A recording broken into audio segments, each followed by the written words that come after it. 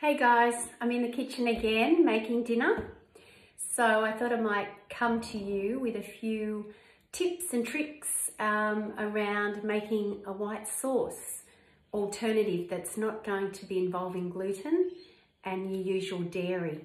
So the recipe I've just selected is, let me show you, using red lentils. So let me just bring it up here. Recently cooked. It is a Thermomix recipe and it's called lentil moussaka. So if you can't see that, you can just punch into your Cookidoo, lentil moussaka. And basically we make and prepare the tomato lentil um, filling in the bowl, which you can see here.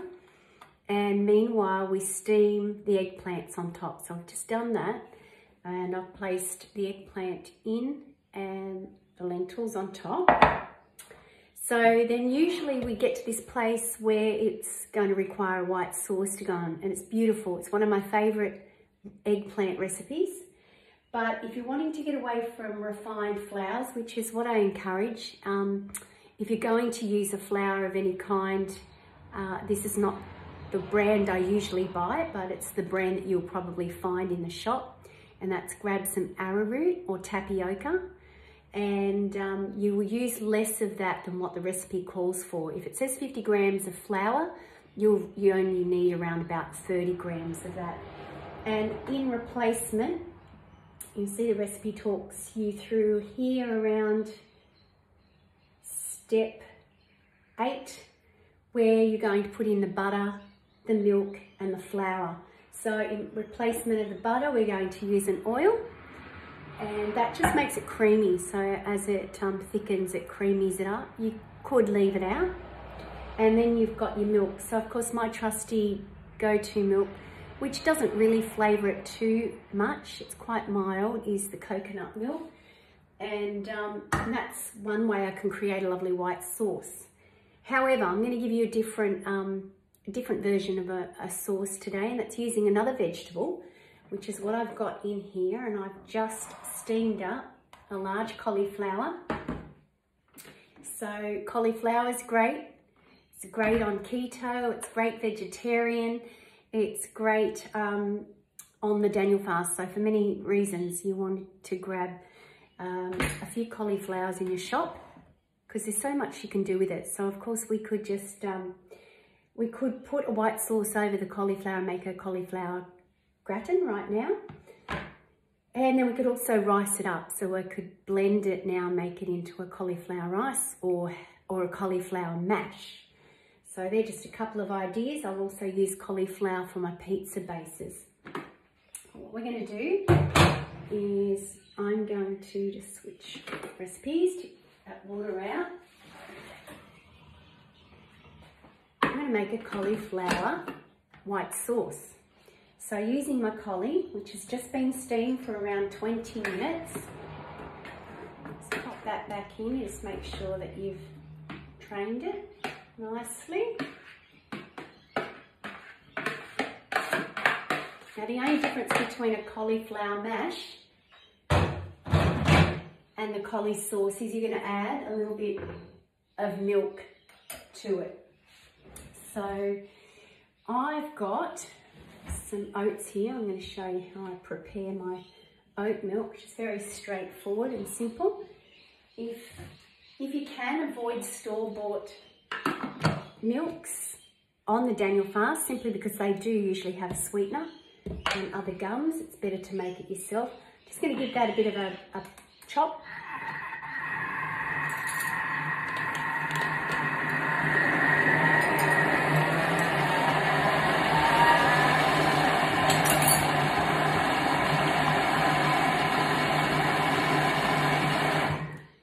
10 second blend there, just to get it started.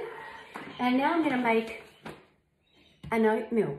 So very simply, I just use uh, around about, what, I've got a half a cup of water there. Half a cup of water to about two tablespoons of oats.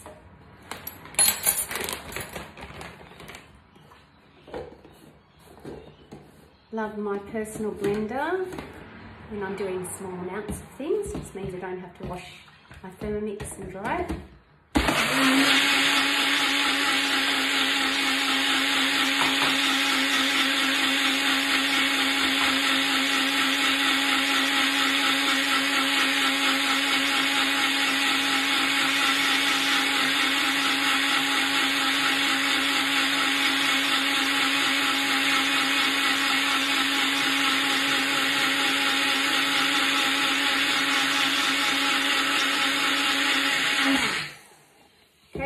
Generally 30, 40 seconds for that amount. And then we're going to strain. So you just want to take the pulp out of it. And I only did a half a cup because I knew I had a half a cup left over from the other day when I made some porridge. So I'm just going to pour that in and let that strain. It just thins it right out. And look, you might be happy to put the fibre in there. Really doesn't matter either way.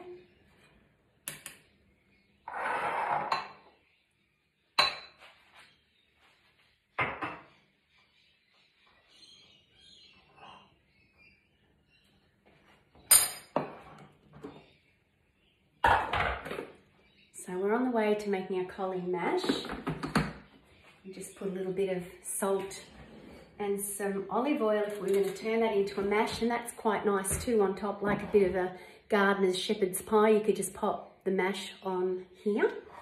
If you're wanting to turn it more into a sauce and this is what I really want to achieve is placing some um, some nutritional yeast flakes to give it the cheesiness like the usual white sauce.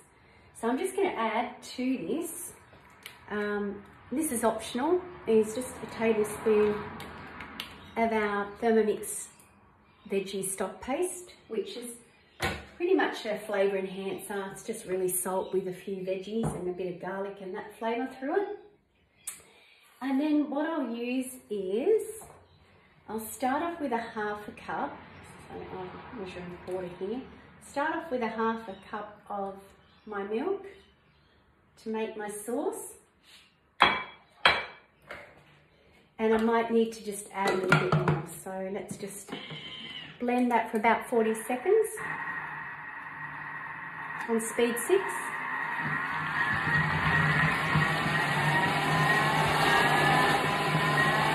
Back it to five.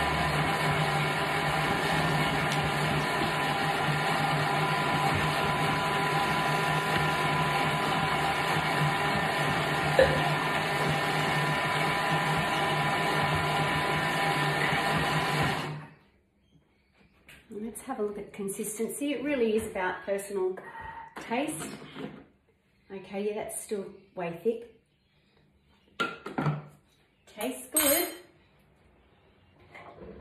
So I'll add the, the rest here. Look, I'm saying for the quantity of cauliflower I've used, which is more than one cauliflower, I'd probably go up to say a, a, cup and a half of milk. You're wanting to achieve that sauciness which pours over the top of this but is also um, quite um, firm. So a pouring consistency but a firm because you're not going, when you bake this, it's not got any eggs or anything to then firm it up further. So how it goes on here is how it pretty much comes back out. So we'll just run with that because I underestimated the um, quantity of collie. And then I'm just going to add around about a quarter of a cup of nutritional yeast flakes. Now, people are often scared of nutritional yeast flakes. They are an inactive form of yeast, so it is usually fine if you um, have issues with candida. Give that a bit of a blend and it's loaded in B vitamins. So there's my daily Bs right there.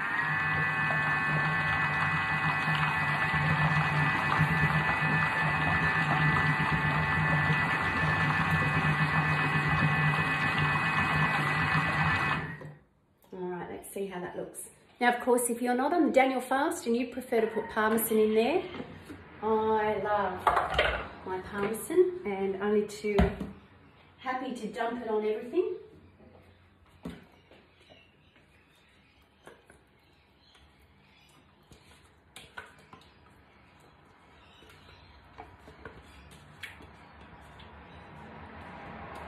Oh, all the goodness out there. Okay, as you can see, it's a bit saucier than a mash. Maybe I'm just, um, yeah, gonna call it a, a hybrid in between a mash and a sauce. I have actually made it quite thin and I've sometimes, yeah, instead of using the oat milk, which is what I just blended up, could also use a can of coconut cream, but seem to be going through the coconut cream this week, so I just wanted to have a bit of a change up. Tastes good. So if you want to make it a little bit pretty, get a bit of a crusty top when you bake this, just add a sprinkle or two. So there's my masaka, lentil moussaka using my eggplants. That is one great way. I bought two large eggplants this week and I thought now I'm going to make up a couple of dishes um, featuring that. So pop that aside. And I'll show you what else I'm going to make. So with those eggplants, slice them up thinly to steam them and add them to the masaka. And and I've got some leftover pieces here that I'm going to marinate. So I usually just lay them out in a dish like this. Just so that you're able to use a pastry brush and be able to, after five or 10 minutes, turn them over and do the other side. So that's why I do like um, a plate like this. Otherwise, um, when I do my portobello mushrooms, so this is a great marinade for any of your veggies, I often use cauliflower steaks. So they're great. It's a great bread alternative. So to just pan fry um, in a bit of coconut oil or olive oil, uh, a couple of collie steaks. There's something that I used um, when I was full on doing the keto and keeping the carbs way low without bread. They were great. And generally I love the portobello mushrooms to do this recipe with as well because they're open and flat and you can actually barbecue them. But today these are the leftovers. So just gonna marinate these few veggies as well with the leftover marinade. So the marinade is very basic. It's a couple of tablespoons, I think three actually. Three tablespoons of oil. I've done a sprinkle of garlic granules when you just don't feel like peeling another garlic clove. I should have done that this morning when I made my stock. I like the granules because they are quite strong. It gives it, it's a concentrated flavour. And then we want around about two tablespoons of, I'm using tamari. I often use coconut aminos, but I'm out of that at the moment. So tamari. Then I've got just a couple of spices. I'm going to use teaspoon of paprika and cumin. So you can pick your own favourites A little bit of pepper. You won't need salt because you've of course got that tamari which is um, quite salty as it is. So just mix that. Just remind me that when I go shopping I must pick up a whisk. Mine broke, I threw it out and I've missed it ever since. So there's our little marinade. And you'll laugh, but here's my pastry brush, which a couple of years ago. I couldn't find my pastry brush and I went the garage and found a clean paintbrush and it's been in the kitchen ever since. So there you go, just a paint on those. I'm going to probably be a bit short. I should have doubled it for the extra veggies, but that's okay, it gives you an idea. I can make some more later. And and then I'll just pan fry those. If you've got a barbecue or a Weber, great flavours out on the grill or the um, or the oven bake if you want to just add a little bit more oil to the, the pan. So there, there's some ideas for you using um, the rest of those eggplant. And then I also reserved a bit after steaming. They didn't all fit into my bake tray. So I've got these aside for a baba ganoush later. So there's a, a third recipe that you can try out if you haven't done that for a while. So just for those who are sorting through working out recipes and um, you come across some good ones. Look, I basically have this little fella here. Aside from my Thermomix and the recipes on there, these are my great little um, go-to. It's all divided up in categories. So I can just pick out something at any time. There you go, falafel balls. And I've collected these over the years. Of course, you get your favorites. Um, and who keeps recipe books these days? I mean, it's just crazy, isn't it? The amount that you have. There are some wraps. So I'd encourage you, if you haven't found yourself some kind of little directory like this, that's a great tip in um, starting your healthy collection of um, recipes, particularly if you're doing the Daniel fast, you'll be able to um, have a category specifically for your fast. So I hope that's been helpful and you've enjoyed that you'll have a um, couple of ideas for the coming week. And as I say, buy seasonal and buy what's affordable. Don't be buying anything like a $20 cauliflower if they're $20 this week, which mine weren't, so that was great. I've actually been to Scabiris a couple of weeks in a row, bought up and it's done me a couple of weeks, which is great when you get good value and it's worth a drive because it is an hour away. Always love the drive. So those of you on the coast, if you want to head up to Kulnura, that's where I get um, a lot of locally grown produce and often in bulk. So I got a big thing of oranges, um, 10 kilos of potatoes, and they'll of course last me for a long time. So enjoy your day and sing out if you need any inspiration. Of course, those of you who are doing the Daniel fast, some of you are day 10, some of you day 12. Um, I cheer you on, you're doing amazing, and I'm sure you're feeling great as you've just cleaned out and um, lightened, lightened up on the digestive system. And hopefully it's given you some time back to just spend, to meditate and pray. So love you guys. I will talk to you soon.